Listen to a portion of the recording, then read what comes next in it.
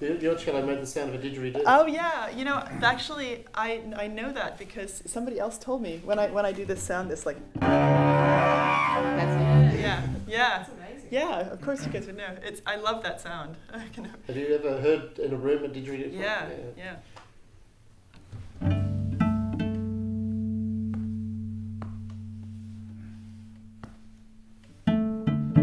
All right. Am I good to go? Okay. Um, well, whenever I, am working on a new album, uh, I'd say like half the pieces are sort of these creations of I have some idea in my head and I recreate it in the studio. And then other pieces are things that I just start improvising and I work on them live. And so this next piece um, is one that I've been working on um, just kind of in front of a live audience over the last couple months, just seeing where it takes me. And um, it has no title even. It's I'm calling it Across the Street Number Two because I was doing my um, recording across the street in a neighbor's house. so it has no title, and um, I'm still working on it. So who knows where it's going to go?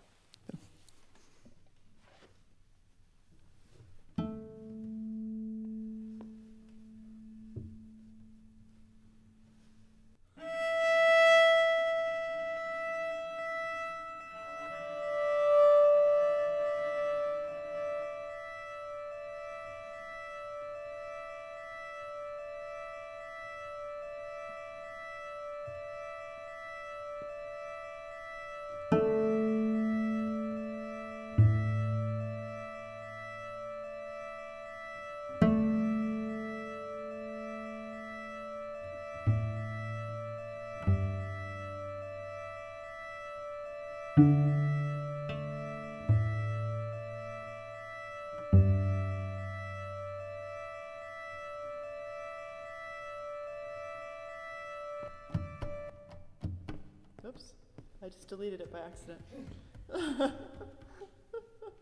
That's funny. I'll just start that again because uh, casualty of the trade, I deleted it by accident.